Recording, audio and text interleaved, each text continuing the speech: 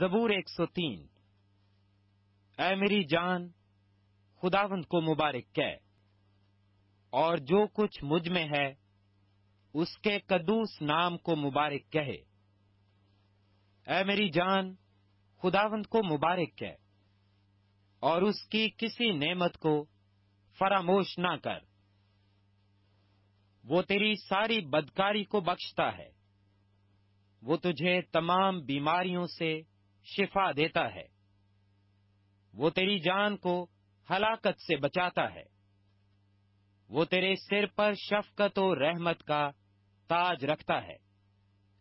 وہ تجھے عمر بھر اچھی اچھی چیزوں سے آسودہ کرتا ہے۔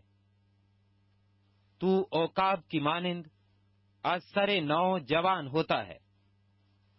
خداوند سب مظلوموں کے لیے صداقت اور عدل کے کام کرتا ہے۔ اس نے اپنی راہیں موسا پر اور اپنے کام بنی اسرائیل پر ظاہر کیے۔ خداوند رحیم اور کریم ہے۔ کہر کرنے میں دھیما اور شفقت میں غنی۔ وہ سدا جھڑکتا نہ رہے گا۔ وہ ہمیشہ غزبناک نہ رہے گا۔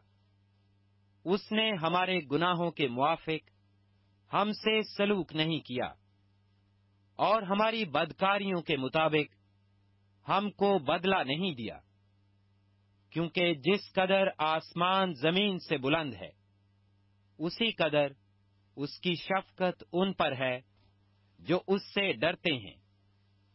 جیسے پورب پچھم سے دور ہے، ویسے ہی اس نے ہماری خطائیں ہم سے دور کر دیں۔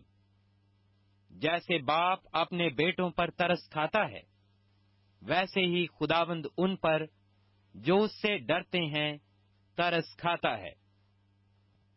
کیونکہ وہ ہماری سرشست سے واقف ہے۔ اسے یاد ہے کہ ہم خاک ہیں۔ انسان کی عمر تو گھاس کی مانند ہے۔ وہ جنگلی پھول کی طرح کھلتا ہے کہ ہوا اس پر چلی اور وہ نہیں، اور اس کی جگہ اسے پھر نہ دکھے گی۔ لیکن خداون کی شفقت اس سے ڈرنے والوں پر ازل سے ابد تک، اور اس کی صداقت نسل در نسل ہے۔ یعنی ان پر جو اس کے عہد پر قائم رہتے ہیں اور اس کے قوانین پر عمل کرنا یاد رکھتے ہیں۔ خدا نے اپنا تخت آسمان پر قائم کیا ہے اور اس کی سلطنت سب پر مسلط ہے۔ اے خداوند کے فرشتوں اس کو مبارک کہو۔